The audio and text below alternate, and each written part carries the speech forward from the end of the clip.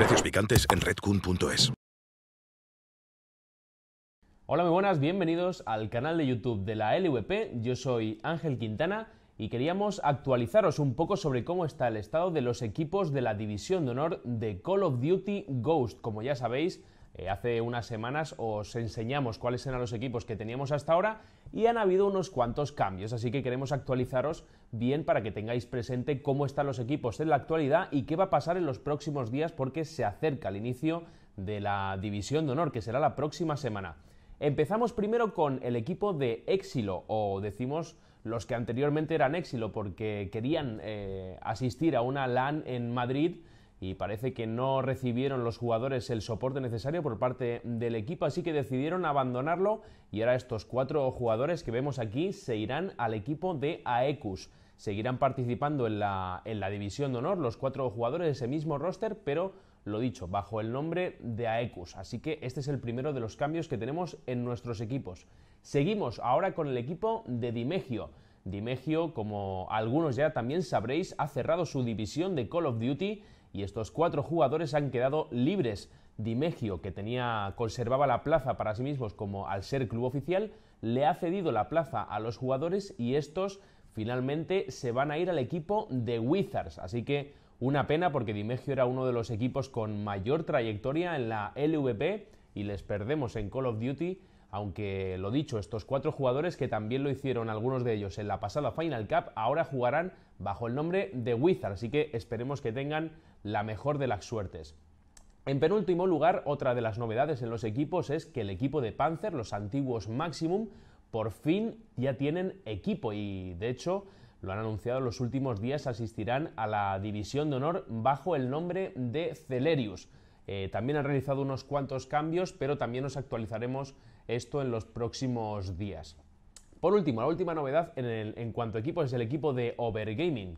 Overgaming también ha decidido acabar con su sección de Call of Duty y estos cuatro jugadores, o al menos eh, algunos de ellos, porque también va a haber cambios en este antiguo roster de Overgaming, eh, bueno, al final de momento quedan fuera de la división de honor y Overgaming, que conservaba la plaza hasta ahora, ha decidido eh, bueno, que nosotros, la LVP, decidamos qué hacer con esa plaza. Así que eh, lo que hemos pensado hacer es un clasificatorio entre cuatro equipos que hemos elegido, eh, recomendados también por jugadores de la, próxima, de, la, de la, propia División de Honor. Y estos cuatro equipos serán Aversion, Amenais, Vendetta y Evident Victory, que jugarán este domingo a partir de las 4 y eso lo podréis ver a través de nuestro streaming. Tenéis toda la información ya sobre este clasificatorio en la página web de la LVP Así que entrad ahí si queréis ver los horarios más detallados. Por cierto, conoceréis a tres de los equipos, quizá no, conozcáis a, no conozcáis al equipo de Vendetta. Bueno, decir que los Vendetta precisamente son los propios ex Overgaming que van a intentar recuperar su plaza de esta manera, pero lo tendrán difícil porque los tres equipos que tienen delante, desde luego, se lo van a poner muy, muy complicado. Hasta aquí las novedades en cuanto a los equipos. Deciros también que en los próximos días se cierra el plazo para presentar las plantillas.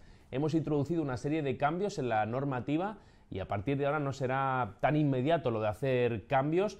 Os lo explicaremos esto en mucho más detalle en, un próximo vídeo, pero por decirlo fácil, no se va a poder hacer cambios en cualquier momento durante la temporada y si se hacen se recibirán penalizaciones mucho más graves que anteriormente. Así que lo dicho, en estos próximos días todos los equipos deben presentar su plantilla final para arrancar la división de honor y es por ello que el próximo lunes esperamos ya poder mostraros las plantillas definitivas de todos los equipos. Recordad que Code Honor empieza el martes precisamente, martes 14, después de la división de, League of, de la división de honor, perdón, que me lío, de League of Legends, empezaremos a partir de las 10 y cuarto más o menos con Code Honor. Así que os esperamos entonces y lo dicho, nos vemos el martes y bueno, recordad que este domingo tenéis ese streaming para ver cuál de los cuatro equipos consigue esa plaza, la que ha dejado libre el equipo de Overgaming. Gracias por vernos chicos, nos vemos en el próximo, hasta luego.